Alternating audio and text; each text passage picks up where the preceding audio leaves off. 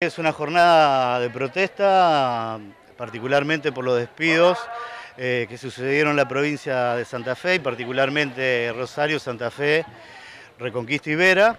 Así que bueno, están las distintas organizaciones, las asociaciones sindicales, repudiando ese despido arbitrario de muchísimos trabajadores. ¿Cuántas desafectaciones se dieron? en Santa Fe, lo que tiene que ver con la Agencia Nacional de Discapacidad, eh, son nueve despedidos, tres de Rosario, dos de Santa Fe, dos de Reconquista y dos de Vera. ¿Pueden funcionar así o cómo se las van a arreglar? En realidad eh, siempre tuvimos dificultades, pero los compañeros son un eje fundamental en las políticas públicas, a pesar de toda la narrativa que se está constituyendo. Eh, la verdad que todos somos trabajadores y nos parece esencial porque es el Estado, como se plantea muchas veces en la agenda política, el Estado mínimo, pero es un Estado eficiente porque los compañeros son esenciales para la función que realizamos todos los días. ¿Qué se debe? ¿Qué le dice el gobierno? Eh, básicamente somos, estamos todos después de más de 20 años en artículo 9, que es un artículo de la ley de empleo público, y bueno, que se le rescinden el contrato a estos compañeros.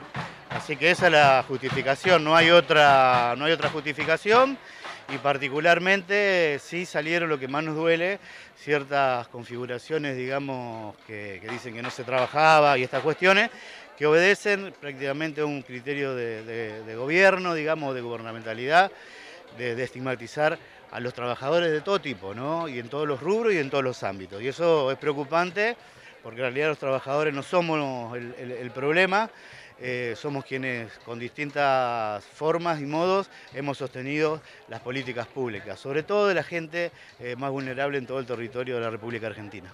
¿son todos contratados o hay alguno de planta No, no, acá somos todos eh, artículo 9, después de 20 años, que también eso lo hemos planteado en su momento eh, a nuestras organizaciones sindicales. Eh, en este caso somos todos contratados, pero también es cierto que se efectuó un concurso con todas las instancias de la ley, que estamos a la espera, es la resolución 518 del 2023. Eh, que no lo designa en ese caso el gobierno que se fue, sino que gente que por presión de los sindicatos, por presión de los trabajadores, concursó en su puesto de trabajo después de 15 o 20 años de trabajo.